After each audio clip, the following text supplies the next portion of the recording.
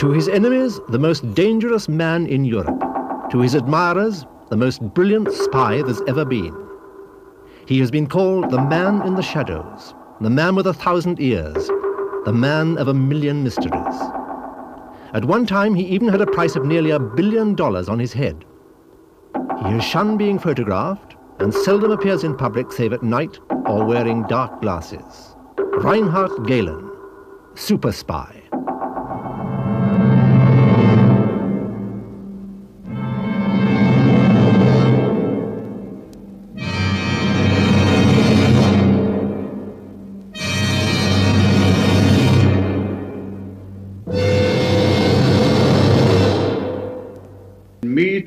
Gehlen, at that time Captain Reinhard Gehlen in Berlin in 1933 when we were together students in the uh, German War Academy in Berlin.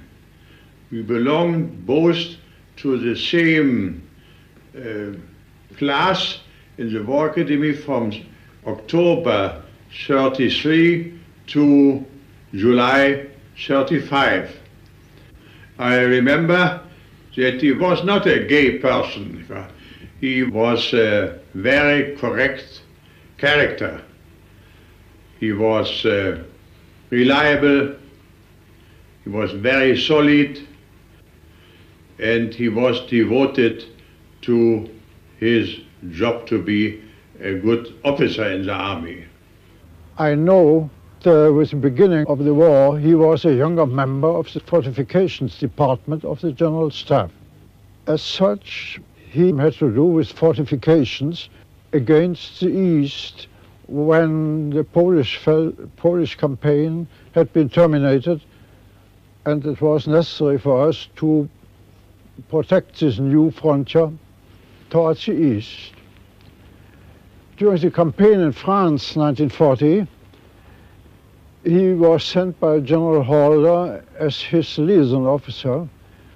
He apparently had made such a lasting impression on General Halder that he chose him as his aide. But he remained in that position only for a short time before he entered the uh, most noble department of the army, the operations staff. In this capacity, he uh, had to do with the preparations against Russia on the southern wing. Gehlen's work in planning the German attack on Russia in June 1941 brought him to Hitler's notice. But when the Russian campaign began to go wrong for Hitler, in April 1942, he put Gehlen in charge of gathering information about Russia's war potential, something Hitler and the Nazis, surprisingly, had not bothered to do before launching their attack on Russia.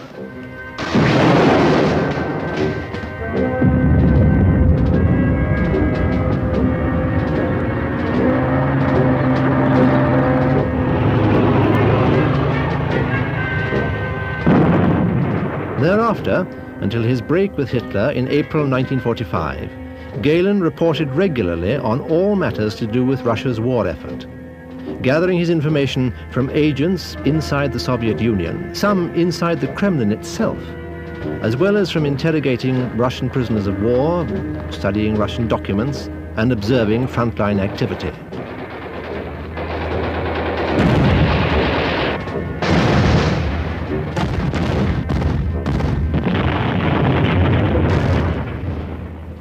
But his reports were not always believed.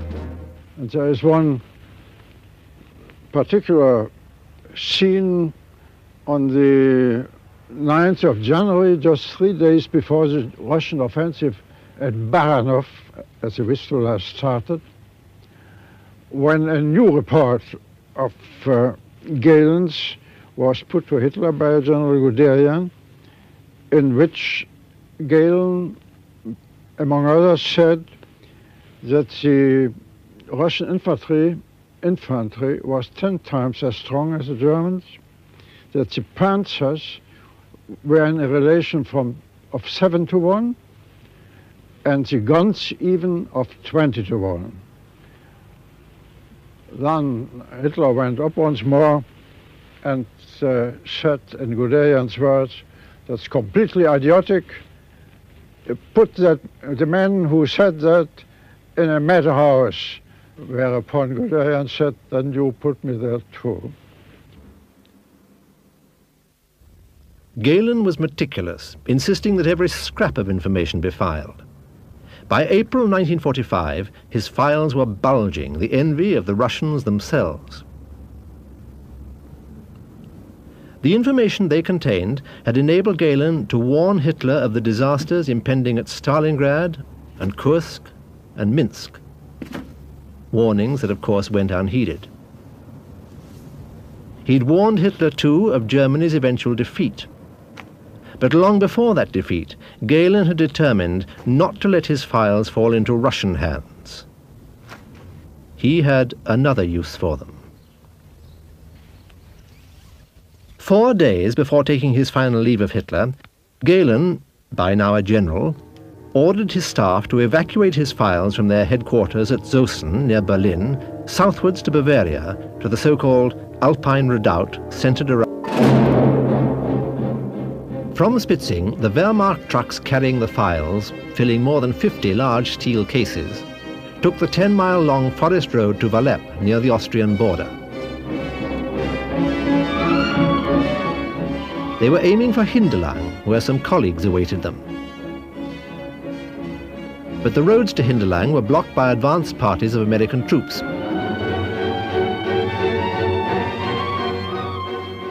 So they turned more deeply into the mountains until finally they reached a forest hut known locally as Elend's Alm, meaning misery meadow.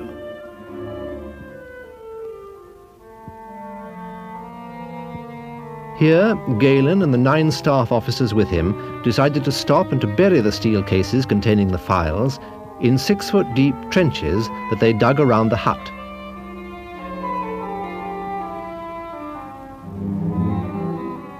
It was the day the Red Army finally broke into Berlin. Every morning, Gehlen and his aides climbed one of the nearby mountains to look for the approaching Americans, but none came. The Americans had in fact been ordered to give the Alpine redoubt the miss for the moment and to concentrate on mopping up those German troops still resisting around Munich.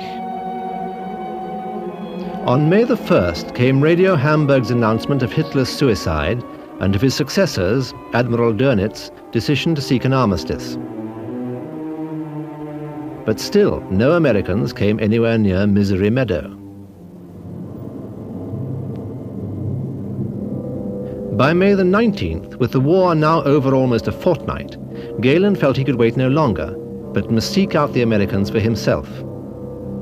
With four of his aides, he descended the valley, first to the inn at Zipfelwirt, where he spent an anxious few days communicating by shortwave radio with those of his colleagues left behind with the buried files. But he had learned that the Americans had set up a command post nearby at Fischhausen on Lake Schliersee, and that they were treating surrendering German generals with great respect. He decided to give himself up. But his first meeting with the Americans was an anticlimax, for the young Texan lieutenant merely took down his name and rank and ordered him to an officer prisoner of war camp at Miesbach, nearer Munich. Gehlen protested his importance but to no avail with his young captors, who by then had taken prisoner several hundred top German officers and generals who had been holing out in the Bavarian Alps, and they were pretty blasé about it all. Gehlen had to cool his heels for several days more before being questioned again. This time, the young sergeant who interrogated him knew of him, and so Gehlen began to be passed up the Allied intelligence ladder. From Miesbach he was sent to Augsburg and from Augsburg to Wiesbaden.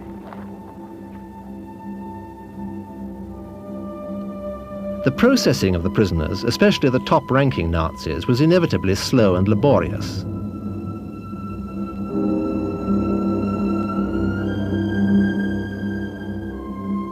That Gehlen was given any priority at all was due to one man, the United States Seventh Army's Chief of Intelligence, Colonel William Quinn. It was in Quinn that Gehlen first confided his scheme for buying his freedom with his files, though he wouldn't say straight away where he'd hidden them. Well, I think it was just a simple fact that he had an awful lot of beautiful cards in his hands.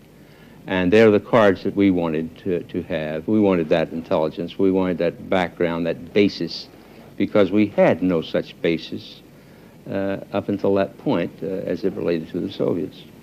He had been very uh, far-seeing, Gehlen, because he, his, his uh, own cons- uh, view was that sooner or later there'd be a clash between Russia and the West.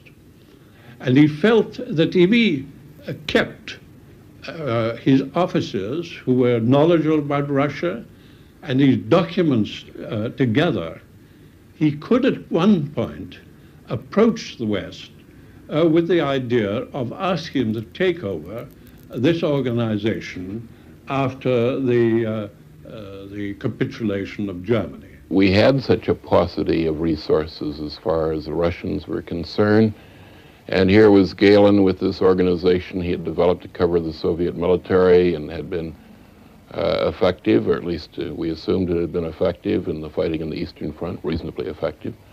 And uh, here was something in hand that uh, would take months, if not years, to duplicate, so why not use it? He uh, thought very carefully as to whether he should come to the British or the Americans, but he felt that the Americans under, would, in the end, understand the problems of Russia and so on uh, much better, and the Germans much better than would uh, the countries, the other countries of the West, like Great Britain and France, for example. Gehlen was flown to Washington, to the Pentagon, in August 1945, along with three of his top aides. The Americans had dug up his files and were clearly delighted at what they contained. What's more, the Russians were now desperately searching for Gehlen, and since they'd found his headquarters empty of files, were beginning to suspect that something was afoot. Gehlen and his aides were housed down the Potomac from the Pentagon in well-furnished villas at Fort Hunt. To see to his every need, Gehlen was provided with an NCO butler and several white-jacketed orderlies. His metamorphosis from a wanted enemy to a courted ally had begun. Well, the Americans, I think, were taken by surprise by the Cold War. There's quite a big body of Americans who believed that when the war, World War II, was over, they and the Russians would uh, become buddies and would cooperate, uh, and that everything in the garden would be lovely. Well, it took a little time, I think, for them to realize, for the Americans to realize that this was not so. We perhaps weren't as aware as a man like Winston Churchill of the fact that the Russians were going to be very difficult to live with at the end of the war. I think he was the first to recognize that uh, Stalin was out for the Soviet Union and only the Soviet Union, and that the negotiations which had gone on in Moscow, Tehran, Yalta, and so on was jockeying for power positions. The United States was almost diffident in some of those discussions because we felt that they really weren't too much our concern. We had never dealt in great degree with Eastern Europe before, and uh, I think President Roosevelt had confidence that Stalin would allow, quote, democratic, unquote, processes to take place.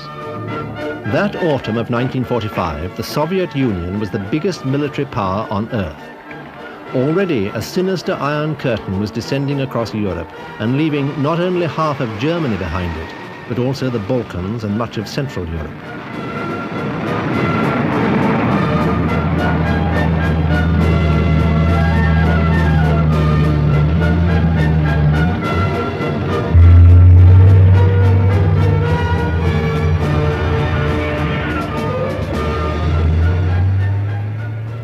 Red Army was rushing in to fill the power vacuum left in Europe by Hitler's defeat, whereas the British and Americans were demobilizing as fast as they could.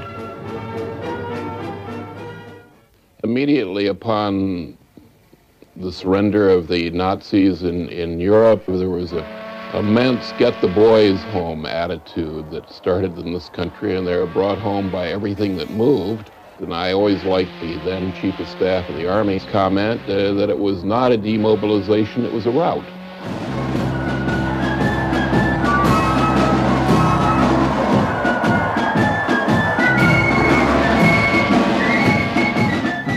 Intelligence, particularly in the military services, is usually the first to go.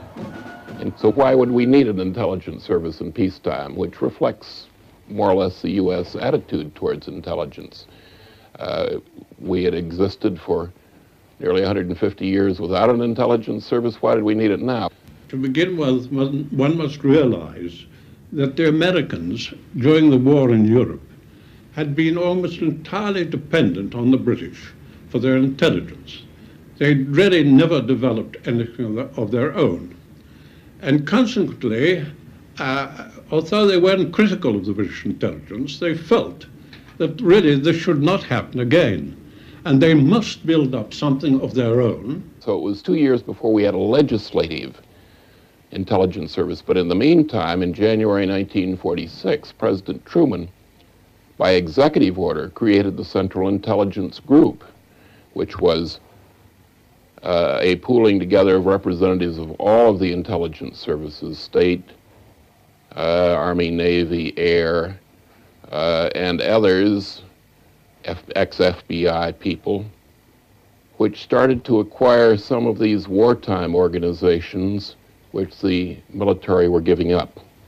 Specifically, uh, German military document section from the Army, the Washington Document Center of the Navy, which was concerned with Japanese documents, uh, the Foreign Broadcast Unit of the Army, which monitors open broadcasts, and these were then being let go by their organizations, and these were picked up by what eventually became CIA.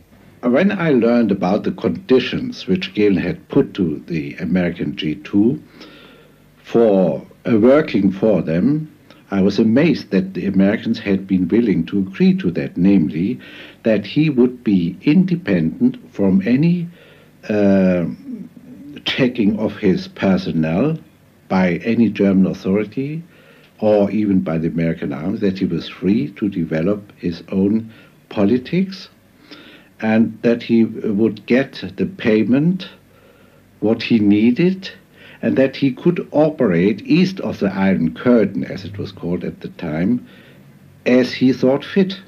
Gehlen, in his best years as a man between 50 and 60, he had a very strong impact on, uh, uh, on uh, uh every man, I would say, on everybody, and uh, his strong uh, ethic attitude as a latter day Prussian. convinced that he was trustworthy, that, that he was reliable, and he could offer a specialist's knowledge he wanted the position to be the advisor of the American army or the Western world on how to deal with the Russians. Daughter and a seat of the former House of Hesse.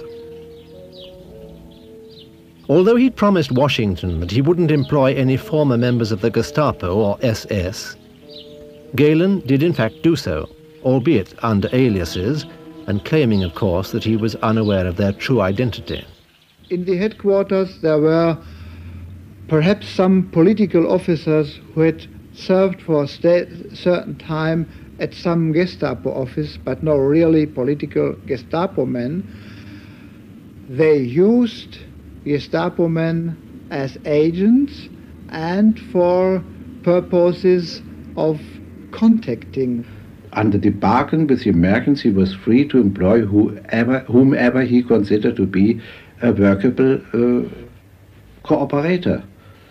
I think I would describe it at that time as being a case of desperation for some good intelligence on the Soviet Union because we were pretty devoid of intelligence and to join up in a partner with a former immediate enemy was uh, something that had to be considered. Uh, it was considered, but we felt that the uh, the fact that uh, we would might have to take the risk of criticism was warranted by virtue of the dividend.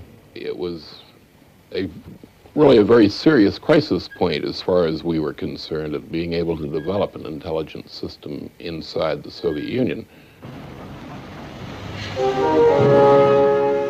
German prisoners of war returning from Russia were a ready source of information for Gehlen.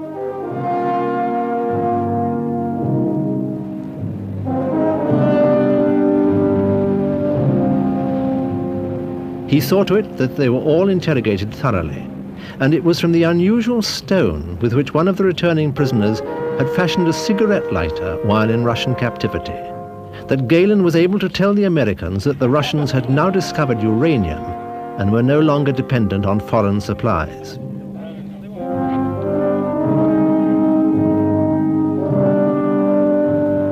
It was from those Germans forced to leave their homes in the eastern zone that Gehlen recruited many of his agents. After suitable training, many of these DPs, displaced persons, were secreted back into the eastern zone. Gehlen shared their hatred of the Soviets.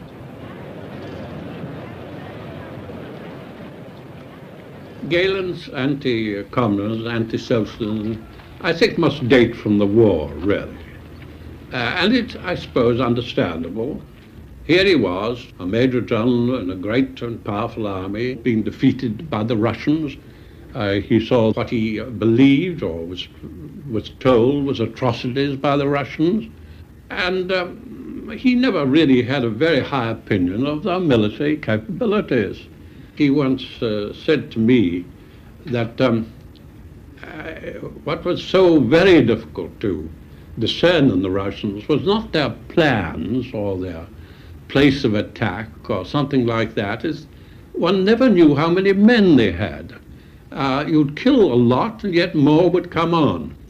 And so I think he that was another element in the problem. He was afraid of these Russians, and he felt sooner or later uh, that uh, uh, they'd overrun Germany, and that Germany would be absorbed by Russia.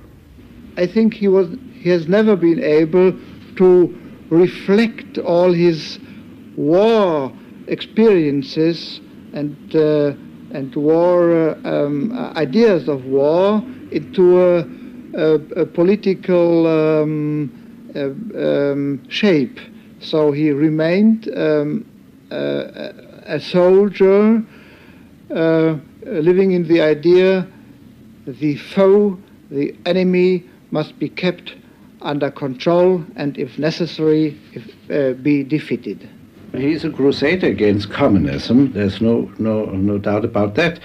But um, at times he would probably turn against the same way fanatically against the uh, government of Cairo or I don't know whatever it, it, job was given to him. He's in a way is a pure professional officer who does the job he's given. The U.S. Army camp at Oberursel, near Frankfurt, was Gehlen's first headquarters. His American patrons providing him with $600,000 a year, which he was soon to up to nearly $20 million a year. His staff also grew, from less than 400 to more than 1,000. Oberursel became no longer big enough. In the autumn of 1947, the same autumn the CIA was established and Gehlen's organization transferred to it, he persuaded his American patrons to spend $3 million modernizing this former SS model housing estate at Pullach near Munich. Once Martin Bormann's headquarters, and before that Rudolf Hess's, its seclusion was a boon to Gehlen. He made it into the most up-to-date espionage center in the world.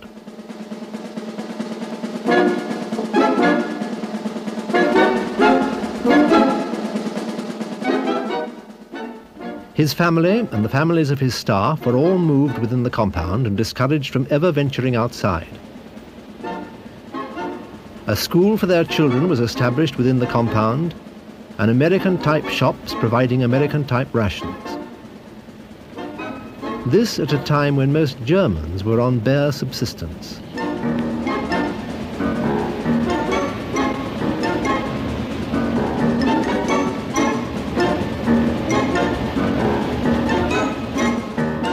Gehlen had only to ask, and the Americans, it seemed, were only too eager to provide.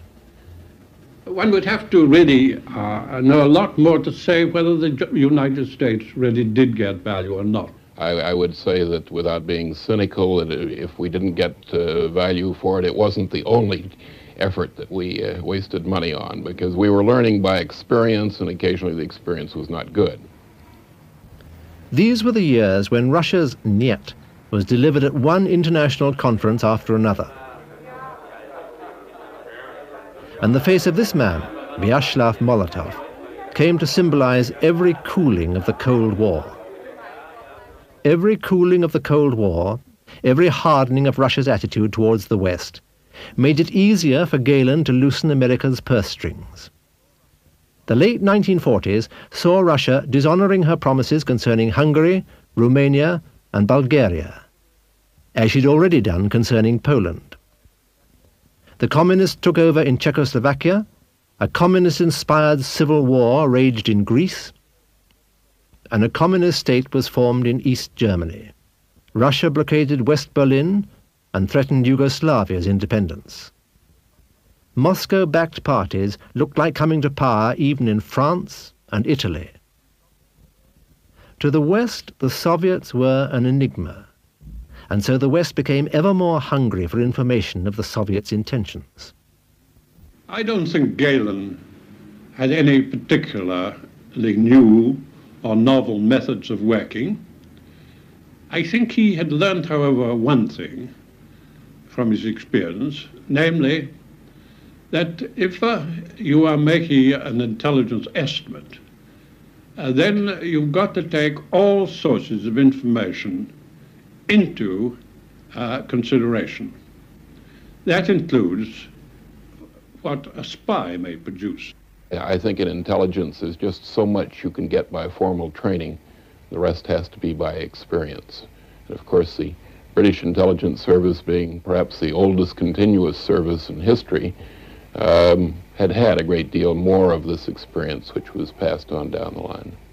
I think probably Gehlen found out what many people have found out before, that of the information available uh, for to make a report or an estimate, probably four-fifths of that information comes from, oh, general sources, uh, newspapers, so on, and probably only one, say, one fifth of it, if as much as that, comes, shall we say, from secret agents or similar secret sources. Today, with modern intelligence collection, overhead reconnaissance satellite, photographic satellites, and the vast expansion of communications intelligence where you listen to every sound, uh, per perhaps you could go as high as 90 or 95. Certainly four-fifths is a a conservative estimate is how much comes from completely overt, easily obtainable, non-clandestine methods. Well, I, read, I've read one or two spy stories, and they never seem to me to have any uh, uh, real substance of truth. And what one must ask on oneself about a spy is not how he got the information, what were the ingenious methods adopted to procure it? What one's got to say is, what information did he get? And what use of it uh, was made when he got it? Gehlen set up some 60 schools for his agents at various Bavarian stately homes. This mansion of Amalienburg at Bad Wiessee was one. In all, he trained some 5,000 spies for work behind the Iron Curtain. One of their biggest early successes was in September 1948 when they learned Russia was arming the so-called East German People's Police.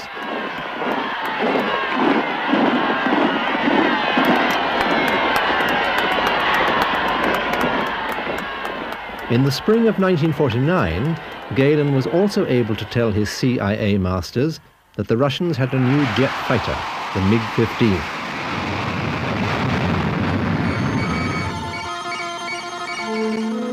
But besides pushing spies into Eastern Europe, Gehlen was instrumental in encouraging the United States to set up Radio Free Europe near his Pullach headquarters.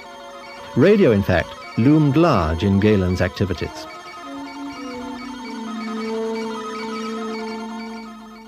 The 1950s saw a hot war confrontation in Korea and a communist witch hunt under Senator McCarthy in America. A newly elected President Eisenhower, and more especially his Secretary of State, John Foster Dulles, began to talk of liberating the captive peoples of Eastern Europe, talk that was in tune with Reinhard Gehlen's own political beliefs. These were also the years when West Berlin, with its direct access to the East, was the espionage capital of the world.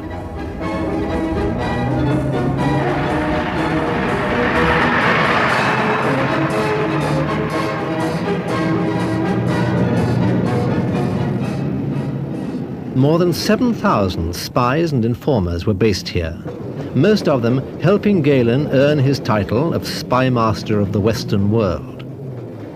Three quarters of the West's intelligence concerning the East came, it was said, from Gehlen.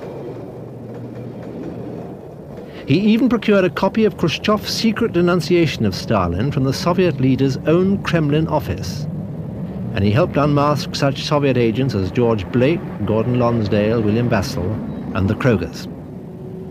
In gratitude, the CIA in 1956 gave him a quarter of a million Deutschmarks with which to buy for himself this house on Lake Starnberg near Munich. With the establishment of the West German Federal Republic, the Americans had honored their promise to Gehlen ten years before to hand over his organization to the new regime. Gehlen, in effect, became head of the West German Secret Service. In this capacity, he had not so much uh, more to do, or not only to do with the Russians, but with all the interesting countries of the world and with political questions too. But even then, as far as I know, he never went to Bonn, or very seldom he always had this man whom he sent there. I had uh, serve, uh, served um, uh, in a side branch uh, of intelligence uh, during the war, supervising uh, the Russian agents' intelligence radio. So I knew from the war one man or the other who had joined the Gehlen service and they uh, asked for contact uh, to Spiegel and me in order perhaps to, to get uh, some information in conversation or ask one or the other question. Uh, or, or uh, influence uh, Spiegel's attitude towards uh, Gehlen. And I proposed to them to do a cover story of Spiegel, which was a rather well known news magazine already then because there had been uh, lots of wrong uh, information about Gehlen derived from British uh, publications, and uh, Gehlen's associates asked him, and he agreed that somebody who, as a former intelligence man, would be reliable and trustworthy, would do a cover story in the news magazine. So I met him. And the, the, circum- the technical circumstances, well, um, uh, I was I traveled to, to Munich and had to wait uh, in my car at uh, a certain point, and from there I was invited uh, to another car, and uh, we toured uh, through Munich, and after a while the car stopped, and another car and another man took me over, and took me into a small uh, street with very small, small men's little houses, and just in one of them. Um, uh, uh, before one of them, or at one of them, the, the car stopped, and I was uh, um, led into the house, and an elderly lady, uh, who, as a legend, would have told, I suppose, uh, lived there as, an, as, a widow or so, uh, um, served me some coffee and chatted with me, and the man who accompanied me. And after a while, the doctor, Dr. Schneider, appeared with his darker glasses and his uh, little hat, and just how the very few photos which uh, exist from uh, the time then show him. It was a very peculiar trait of Gehlen's, this desire for secrecy. Um, he gave up his title of general, I think, and became a doctor, I think was one of the, uh, the titles he took. Uh, one never was told where his private uh, dwelling was and where he lived. Um, and if one uh, went to see him, you were never certain that he would be there. He tried to create such a such a figure of uh, know James Bond. Yes, dark glasses, never make a pictures. He has hat and so on. And I think that uh, the practice of intelligence service in the 20th century is quite different. He spoke in a low voice. He tended to wear uh, dark glasses always when one uh, spoke to him and met him. Uh, I would think that he was a very determined man. He, he was simple, like the German General Staff trained officers are. They uh, see their objective very clearly and uh, go for it. And I think uh, Gehlen was like that. He saw what he wanted and he go, went for it. He's a fanatic. And a fanatic in his job, a fanatic in his personal life, and a fanatic in his attitude against me. Gehlen doesn't smoke, touch spirits, or eat meat. And the few friends he has are connected with his career. I've heard that he did at one time want to, that uh, Gehlen did at one time uh, want to become head of uh, NATO intelligence. Uh, I never uh, saw any uh, um, documents or proposals in writing about it, but there may have been some. I would think it would be very, it would have been very exceptional if he'd done it. Particularly the French would have opposed it opposed it until the end, you know. Never would have agreed that Gehlen would have been put into that position. They were very dubious about Gehlen right from the beginning. He uh, claims uh, on many occasions to have given uh, exact notice to, the, to his uh, authorities, the German government, of what was likely to happen. And I think in Cuba was one. I think the uh, Six Days War was another. Um, Vietnam, I believe, was another. Korea, I think, was another, and so on. Well, I, I, I can't, of course, say that's not true. I have no way of knowing, but I will say this about an intelligence officer. It is exceptional that he can ever give an exact timing or an exact date or an exact description of what is going to happen. What he can do, he can paint the circumstances, he can show what the uh, options are or the likelihood of this or that happening. Besides Cuba and Korea, Vietnam and the Six-Day Israeli War, Gehlen also claimed to have foretold the 1953 uprising in East Berlin and the 1956 uprising in Hungary.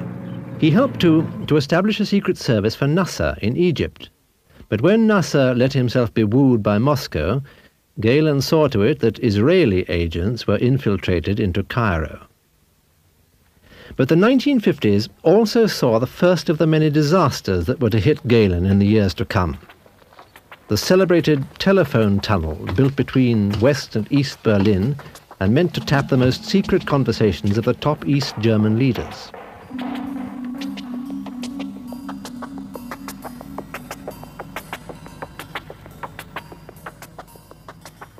Built at a cost of $6 million to the CIA, it was betrayed in April 1956, after only nine months of operation, by one of Gehlen's own colleagues. Indeed, as the years went by, more and more East German agents were infiltrated into Gehlen's organization.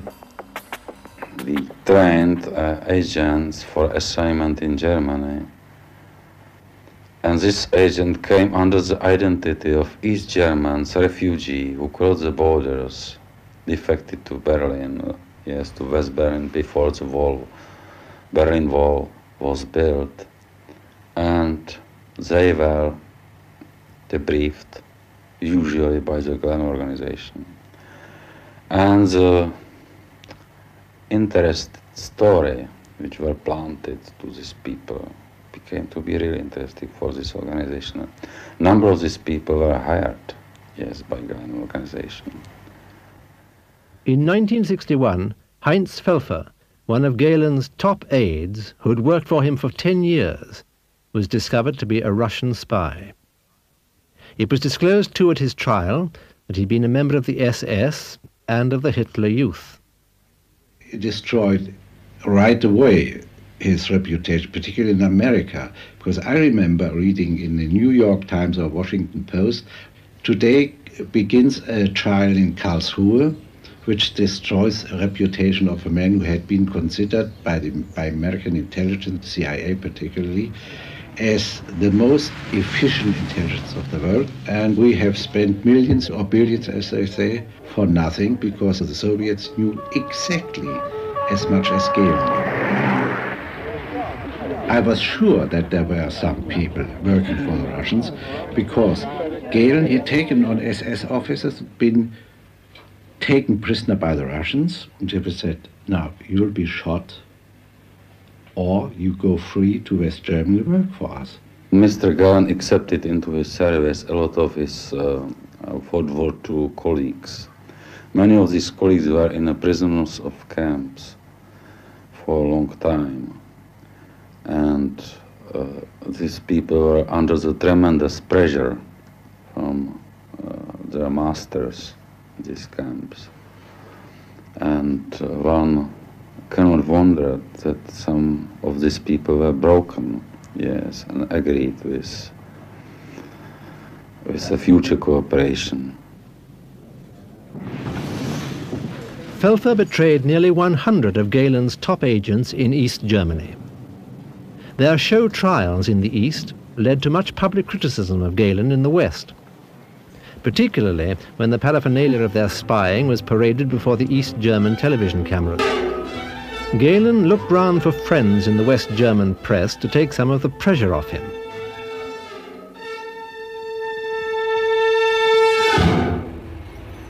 The news magazine Der Spiegel was compiling a profile on the West German defense minister Franz Josef Strauss, who was one of Gehlen's most fervent critics. Gehlen offered to help. But when the profile came out, Strauss realized its writers must have had access to confidential government papers. He suspected their source. But his methods of combating Der Spiegel were clumsy and they rebounded on him, forcing him to resign. Gehlen, for his part, was nearly arrested.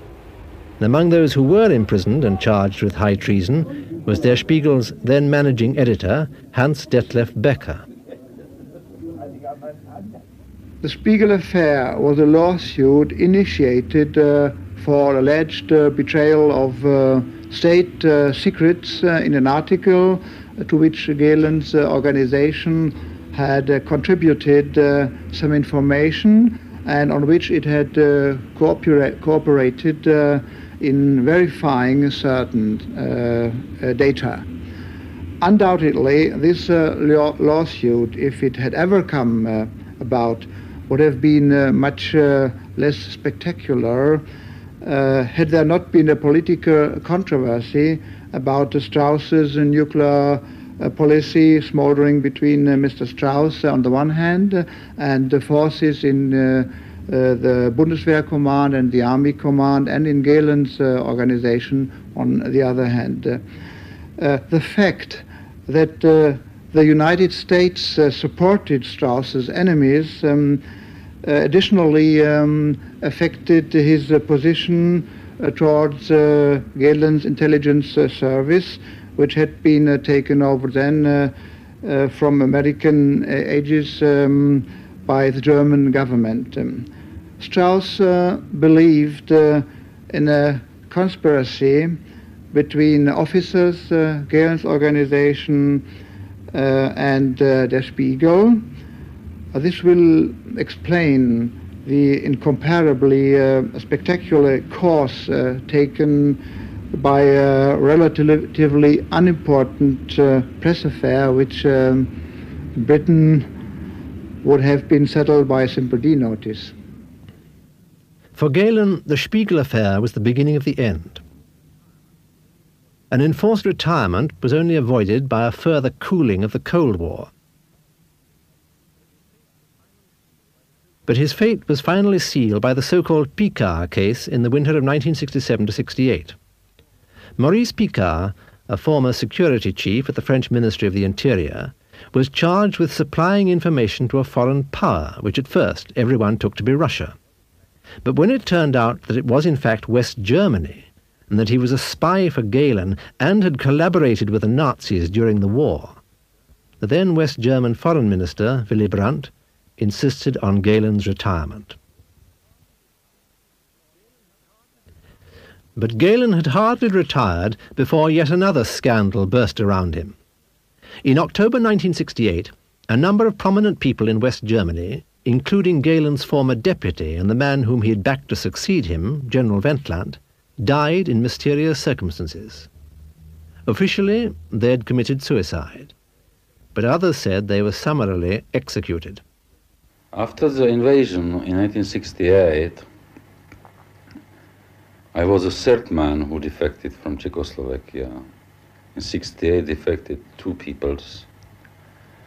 And one of these men was uh, closely related with the German department.